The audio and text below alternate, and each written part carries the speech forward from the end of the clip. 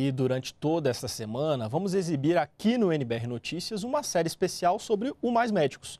Na reportagem de hoje, você vai saber como funciona o programa e acompanhar a atuação de uma profissional de saúde do interior de Goiás, onde a atenção e o cuidado são remédios indispensáveis para melhorar o atendimento e a saúde das pessoas. A reportagem é de Isabela Azevedo.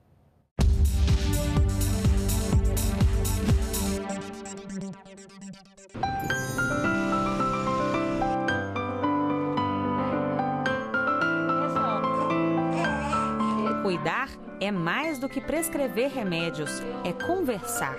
Vira ela para mim, não para cá. Vira a cabecinha, isso. Escutar. É dor nas pernas que eu senti. Não, mas eu trouxe o remédio tá, pra senhora, viu? É dar atenção para quem queria ser ouvido há muito tempo. Ela é um amor de pessoa. Nossa, ela nunca tá assim mal-humorada, sempre atrás das pessoas é, com amor, com carinho, a gente vê que ela passa aquela, aquela paz, sabe? A gente sai melhor do que se tivesse tomado um remédio, sabe?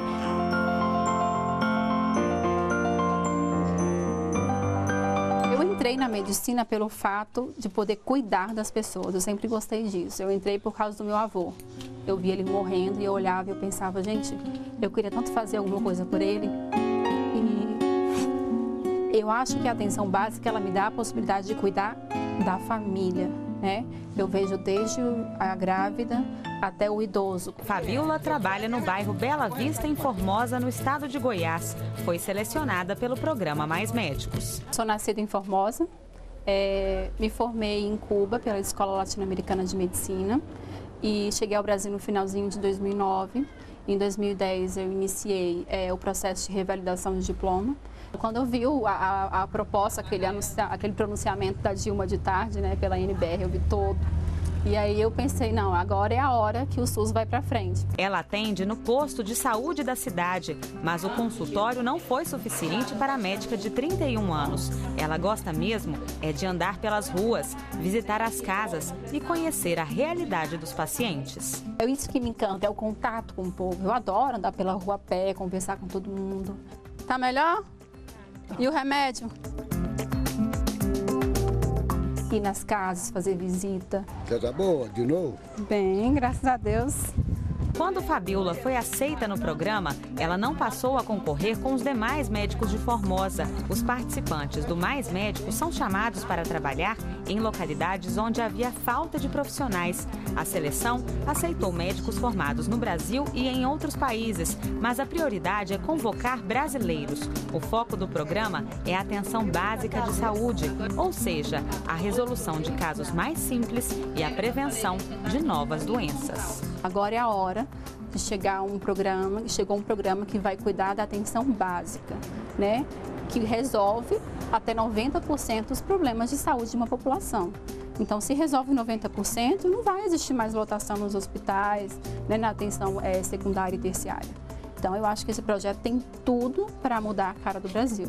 E eu queria fazer parte dessa história. Isso é uma pressão bonita, dona Cissa. É, né? Graças a Deus, né? A pressão da senhora está ótima. A primeira médica que veio na minha casa foi ela. Que nunca veio ninguém aqui não, de médico não. A doutora Fabiola foi convocada na primeira chamada do programa e começou a trabalhar no dia 2 de setembro. Além dela, os mais médicos trouxeram oito profissionais, vindos de Cuba, El Salvador e Argentina.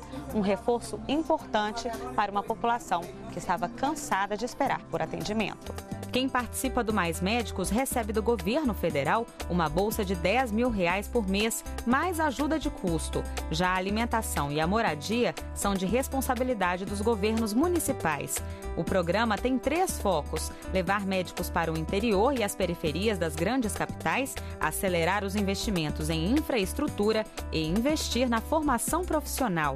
Na área da educação, está prevista a participação dos profissionais do Mais Médicos em cursos de pós-graduação, a criação de mais de 11 mil vagas em cursos de medicina e 12 mil de residência. O programa vai intensificar ações como a que já foi colocada em prática em Aparecida de Goiás. Lá, a unidade de pronto atendimento tem um programa de estágio com foco na atenção básica de saúde. Sem essa parte, eu acho que seria uma formação, sim, falha, né? Então ele tem que ter essa experiência antes dele chegar ao mercado de trabalho. Porque aqui ele vai estar vendo tanto o paciente que, que é o atendimento básico, desde orientações básicas, né? Doenças básicas, como doenças mais graves. Nós levamos conhecimento, levamos é, contatos, né? Com certeza foi um diferencial para nós, né? Com certeza está sendo, está ajudando muito a nossa evolução didática, nossa construção, né? Como médicos. Médicos do futuro e do presente estão trabalhando para escrever um novo capítulo na história da saúde do Brasil. Olha, eu acho que esse problema que a classe médica e algumas pessoas, a população, é, tem contra mais médicos é falta de conhecimento do programa. Né? É falta de conhecer uma realidade como essa.